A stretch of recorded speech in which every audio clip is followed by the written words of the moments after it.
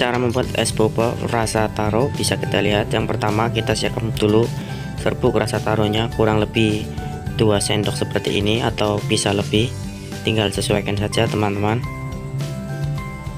Oke kalau sudah serbuk rasa taro tadi kita kasih air panas dan kita aduk-aduk sampai merata. Usahakan pakai air yang panas ya teman-teman biar merata saat diaduk. Oke kalau sudah kita siapkan bobanya jangan lupa kita masukkan ke dalam cup yang sudah kita sediakan seperti ini teman-teman biar merata. Oke kalau sudah kita masukkan es batu yang sudah kita hancurkan kecil-kecil seperti ini lalu kita masukkan susu kental manis untuk merek sesuai selera masing-masing. Dan jangan lupa kita kasih susu full cream seperti ini teman-teman. Ini menggunakan gelas takarannya lalu kita aduk susu full cream dengan susu kental manisnya agar lebih menyatu.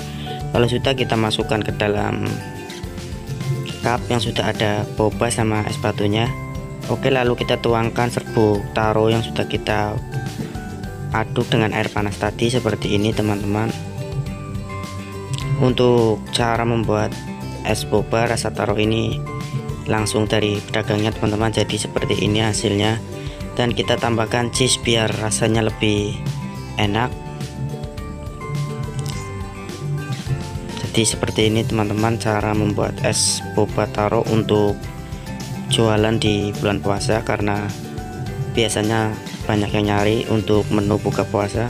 Oh kalau sudah kita tambahkan gula merah yang sudah haluskan sebagai topping atau isiannya biar rasanya lebih gurih. Kalau sudah selesai langsung saja kita press pakai alat pengepres minuman.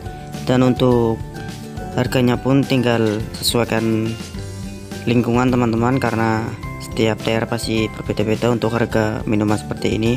Oke teman-teman di video ini bermanfaat. Wassalamualaikum